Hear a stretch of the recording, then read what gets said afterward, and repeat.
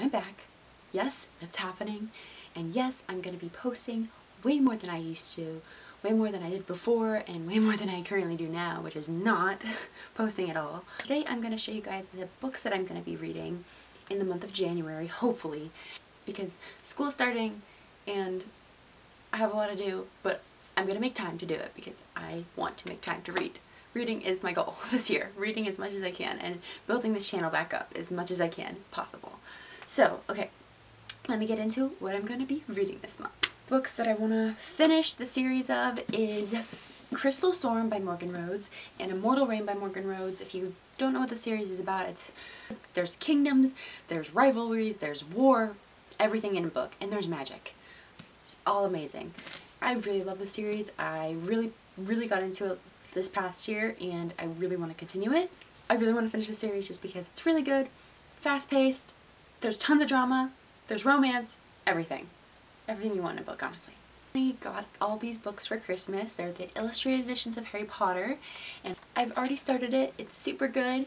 I love the illustrations in it. It's so cute. I just, I love Harry Potter.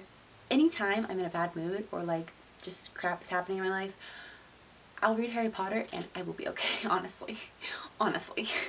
But I'm super excited to read this book and I cannot wait to finish it because I love the illustrations in it so far. I love the illustrator.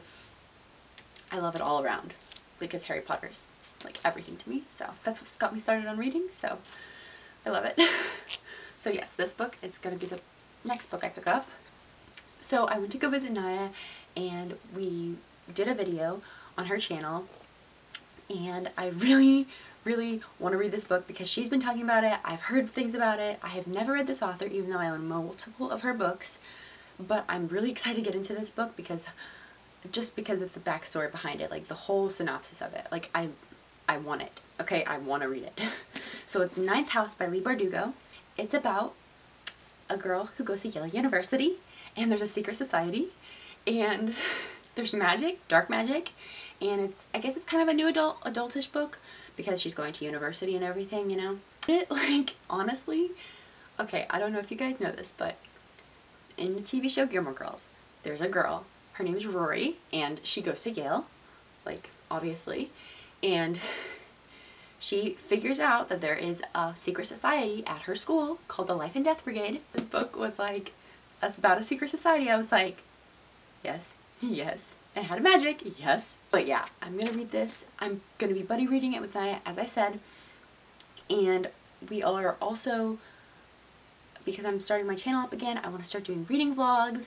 And I'm to be buying a new camera soon so I can start doing reading vlogs.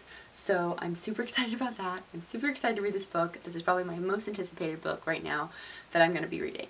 So I cannot wait to read it. It's to be a great time. It's to be awesome.